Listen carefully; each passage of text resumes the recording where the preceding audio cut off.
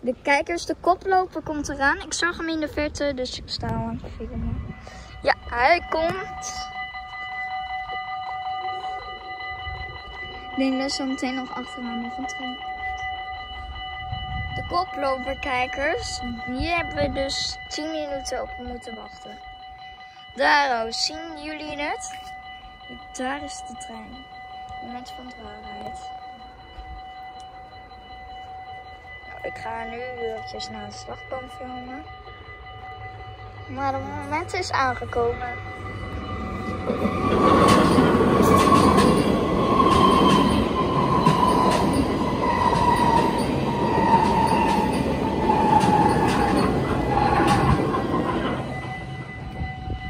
Dat was hem dus, kijkers.